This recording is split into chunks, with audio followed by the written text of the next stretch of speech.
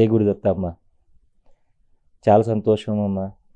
ఆ దత్తాత్రేయుల వారే వచ్చి మా ముందు కూర్చున్నట్టుగా అనిపిస్తుంది మీరు ఉంటేనే. అమ్మ మన దత్త జయంతి ఎలా జరిగిందమ్మా? చాలా బాగా జరిగింది. దత్తాత్రేయ తొట్టెలేసినాం పొద్దున. తొట్టెలేసినప్పుడు అత్రి మహర్షి అనుసుజామత ఇద్దరు వచ్చి ఉయ్యాల ఊపి ఒక సెకండ్ వెళ్ళిపోయినారండి. వాళ్ళు ఎక్కువసేపు ఉండే. తర్వాత ఆంజనేయ స్వామి జెండా ఎక్కించినాం. జెండాకు ఆంజనేయ స్వామి వచ్చి నిలబడి అక్కడే నిలబడ్డారు. కార్యక్రమం అయిందాక తర్వాత దత్తాత్రేయ ఓడి నింపుతాం బియ్యంతో.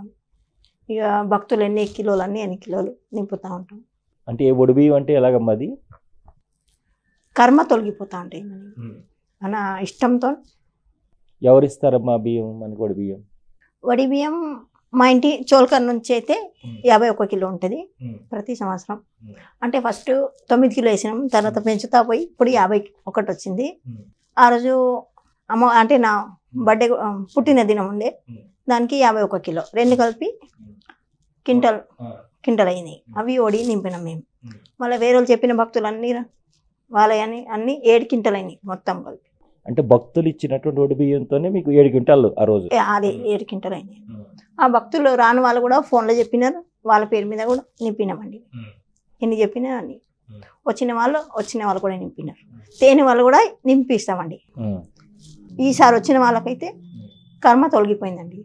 Twenty percent. ఎందుకంటే రోజు చాలా సంతోషం పడ్డారు స్వామీజీ. నా భక్తుల బర్త్డే కూడా ఉంది. పుట్టిన దినం ఉంది. నాది ఉంది. ఇద్దరిది కలిపి నేను ఫ్రీ గిఫ్ట్. అంటారు కదా గిఫ్ట్ రిటర్న్ గిఫ్ట్. అలా స్వామీజీ ఇచ్చిందండి. ఆ రోజు దత్త జయంతిలో పాల్గొన్న వాళ్ళకి ఇరవై శాతం కర్మలు. కర్మ తొలగిపోయిందండి ఒడి నింపుతప్పుడు జోలి ఇట్లా ఫైనాన్స్ నిలబెడతారండి స్వామీజీ. ఆ. జోలీలో మనం వేసిన బియ్యం అయితే ఒక కొనకి పోతాయంటే ఈసారి కొద్దిగా నీ నీరంతా ఫుల్ అంటే ఇంకోసారి ఒడి నింపితే తొమ్మిది క్వింటాలు వస్తాయంట అవి ఫుల్ అవుతాయంట జోలి స్వామీజీ. స్వామి వారు చెప్పారు. చెప్పాను. అక్కడ నుంచి ఆరతి అయింది. స్వామీజీ ఆరతి. ఆరతి అయినప్పుడు పాదుకల నుంచి ఆరతి చేయమన్నారు. ఉత్తర ముఖం ఆ రోజు ఆరతి ఇది. అన్- దత్తస్వామి తూర్పు ముఖంగా తూర్పు మామూలుగా ముఖం ఉంటే ఒడి అక్కడే నింపుతాం ఉమ్. ఆరతి చేసేటప్పుడు మనం ఉత్తర ముఖం అయిపోతుంది. అప్పుడు పాదుకాల నుంచి ఆరతి చేస్తా పోమంటారు మీదకి ఎక్కిపోవాలి. కిందికించి మీదకి వెళ్ళిపోవాలి ఆరతి. ఆరతి అయినాక కూర్చున్నది కదా స్వామి. మూడు గంటలు ఎన్నడు మనం పోదామంటారు. చేయి పట్టుకుంటారు. ఎవరంతా తిరిగి వచ్చినాం దత్తుల వారితో స్వామీజీ తీసుకుపోయినారు ఉమ్. గేట్ ఓపెన్ అవుతా ఉంటాయి ఉమ్. ఉత్తర ముఖం ముఖం ఓ- ఓపెన్ కాగానే లోపల విష్ణు ఉమ్. ఈసారి ఏమో బ్రహ్మ విష్ణు మహేష్. అందరు దర్శనం చేసుకున్నాం. పార్వతి శివ పార్వతి ఫస్ట్ దర్శనం చేసుకున్నాం అక్కడ నుంచి సెకండ్ సెకండ్లో అయిపోతుంది. వాళ్ళు ఎంబడి ఉంటే తొందరగా అవుతుంది నేను ఒక్క ఆమె పోయినా అనుకో చాలా లేట్ అవుతుంది. స్వామీజీ వచ్చిన అనుకో సెకండ్లో శివ పార్వతి దర్శనం చేసుకో. అక్కడ విష్ణు లక్ష్మి. వాళ్ళ దగ్గర డోర్ ఓపెన్ అవుతుంది అది చాలా మంచిగా అనిపిస్తుంది విష్ణు లక్ష్మి. ఎందుకంటే అక్కడ నీళ్ళు ఉంటాయి మొత్తం. నీళ్ళలో కూర్చొని ఉంటారు వాళ్ళు మంచిగా హాయిగా సింహాసనంలో కూర్చొని ఉంటారు. అక్కడ దర్శనం చేసుకొని మళ్ళా బ్రహ్మ సరస్వతిది. వాళ్ళకు మొక్కొని మళ్ళీ కిందికి వచ్చి కిందికి వచ్చి నాగలోకం. నాగలోకం దర్శనం చేసుకొని మళ్ళీ మొత్తం తిరిగి అప్పటికి పబ్లిక్ అమ్మ మాకు దర్శనం ఇవ్వండి. స్వామి రండి రండి అని పిలిస్తే అప్పుడు అన్ని డోర్ బంద్ చేసి వచ్చేయని స్వామి చూపించారు మూడు? గంటలది. మూడు గంటల పాటు ధ్యానంలో ఉన్నారు. లేదంటే నాలుగైదు గంటలు అవుతుంది. ఆ రోజు భక్తులు పిలిచినంటే తొందరగా వచ్చేసినారు. స్వామీజీ వచ్చి ఇప్పుడు అందరు భక్తులు. ఏమేమి చెప్పినాయి ఎన్నుకుంటా కూర్చున్నారు స్వామీజీ. ఎప్పుడో భక్తులకు చెప్పినారు. ధ్యానం చేయండి. ఇరవై నాలుగు గంటలు ఉంటాయి మనకు పొద్దున్న నుంచి సాయంత్రం. మాకు టైం దొరకదు. కొన్ని భక్తులు అంటున్నారు మాకు టైం ఎక్కడ? పొద్దున్న పిల్లలు వాళ్ళు వీళ్ళు అందరూ ఉంటారు. మాతో పని కాదు ఒక గంట కూడా కాదండి. స్వామీజీ ఇరవై నాలుగు గంటలు ఉంటాయి కదా అందులో ఒక్క గంట నాకు ఇవ్వండి. నా గురించి ఆలోచించండి కొద్దిసేపు కూర్చొని ధ్యానం చేయండి. అప్పుడు మీకు ఏదో ఒక మార్గం దొరుకుతుంది. ఏం చేయకుండా మాకేం అయితే లేదు ఏమైతే లేదు అంటే పని కాదు. సరే అన్నారు. ఇరవై నాలుగు గంటల్లో ఒక గంట. అది కూడా టైం దొరకకపోతే హాఫ్ అన్ అవర్స్ అర్ధ గంట పొద్దున్న సాయంత్రం అర్ధ గంట చేసుకుంది ధ్యానం.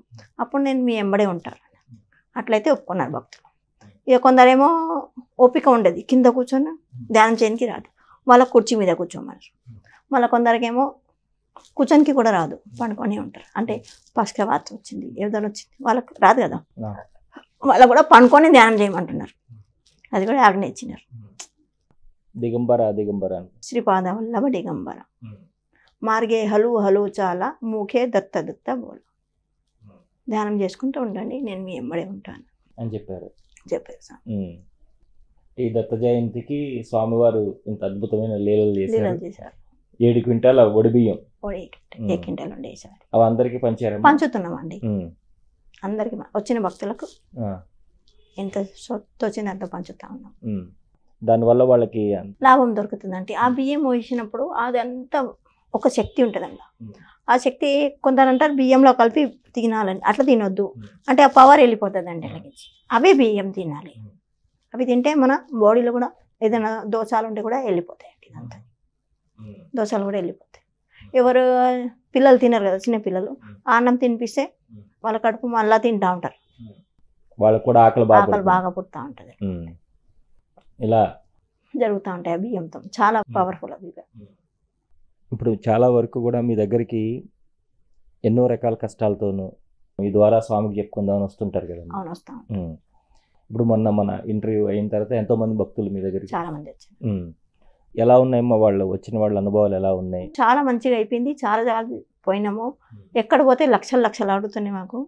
అని మేము పెట్టలేము. ఇక్కడ వస్తే మీరు సెకండ్లో స్వామీజీ చూడంగానే సెకండ్లో జరిపిస్తున్నారు. చాలా సంతోషం వేస్తుంది ఉమ్. అని అంటున్నారు. ఎలా అమ్మ దుష్ట శక్తులు ఇప్పుడు చాలా మందిని నెగిటివ్ ఎనర్జీ పీడిస్తుందని చెప్తుంటారు కదా. మరి వాటి నుంచి వాళ్ళు ఏమైనా బయటపడడానికి అవకాశం? బయటపడతారండి. సెకండ్లో స్వామీజీ చూడంగానే సెకండ్లో వెళ్ళిపోతారండి వాళ్ళు. నెగిటివ్ ఉన్నానంటే సెకండ్లో వాళ్ళు కాలు మొక్కాలి స్వామీజీ. స్వామీజీ ఈ క్షణంలో నాకు తొలగిపోవాలి. ఈ క్షణమే అనాలి. ఈ రోజు ఈ గంటలు అని అనొద్దు. ఇప్పుడే. ఈ క్షణమే. అంతే. ఇప్పుడు కూడా ఈ క్షణమే. వెళ్ళిపోవాలంటే కంపల్సరీ వెళ్ళిపోతుంది. వెళ్ళిపోతుంది. స్వామీజీ అప్పుడే తీసేస్తారండి. అలా దృష్టి పడగానే వెళ్ళిపోతుంది.